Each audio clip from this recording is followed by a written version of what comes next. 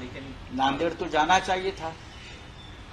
संभाजीनगर में भी जाना चाहिए था वहाँ भी सत्रह अठारह बच्चों की मौत हो गई है। लेकिन जाते हैं दिल्ली में बैठते हैं घर के कमरे में और राजनीतिक बातें करते हैं। महाराष्ट्र में लोग अपने हाल पर छोड़ दिए मर रहे ये क्या सरकार है क्या? हाँ? पूरे राज्य को खत्म कर दिया है। सर,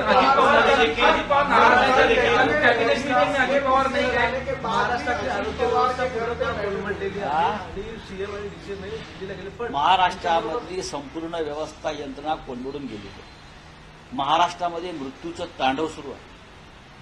नांदेड संभाजीनगर अनेक जिल्ह्यात नागपूर ठिकठिकाणी फक्त मृत्यूचं तांडव सुरू असताना या राज्याचं सरकार एक मुख्यमंत्री दोन उपमुख्यमंत्री एक डाऊटफुल बरं का आणि दोन हाफ यांना त्याची चिंताच नाहीये. ते राजकारणामध्ये अडकलेले आहेत राजकारणात बिजी आहेत. कोणाला पालकमंत्रीपद हवं आहे कोणाला खातं बदलून हवं आहे कोणाला आणखीन काय हवं आहे लोक मरतायत. इतकं निर्दय आणि निर्गुण सरकार या राज्याच्या वाट्याला आलेलं आहे.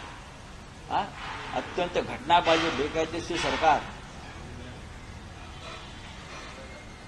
संवेदनशून्य सरकार या राज्यात बसलं.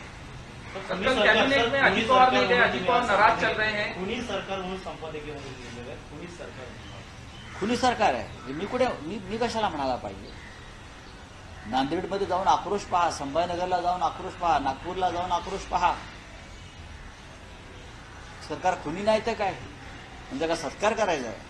चले अजित पवारांच्या संदर्भात एक प्रश्न तो अजित पवार काल देखील कॅबिनेटला होते त्याच्या आधी अनेक गणपतीच्या दिवसांमध्ये देखील ते गायब होते. आणि आता दिल्लीला जेव्हा सीएम आणि देवेंद्र फडणवीस गेले त्यावेळी देखील अजित पवार आले आणि त्यांचं कारण सांगितलं जातं ते म्हणजे ते आजारी आहे काय वाटतं आपल्याला खरंच आजारी कारण असावं आणि गेल्या वेळी ते होते त्यावेळी देखील मोठा घडला जरा पॉलिटिकली बीमार है अजित पवार?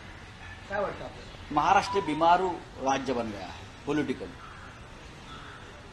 बहुत से राज्य में बीमारू राज्य कहा जाता है क्योंकि वो आर्थिक दृष्टया गरीब होते हैं मागास होते हैं बैकवर्ड होते हैं।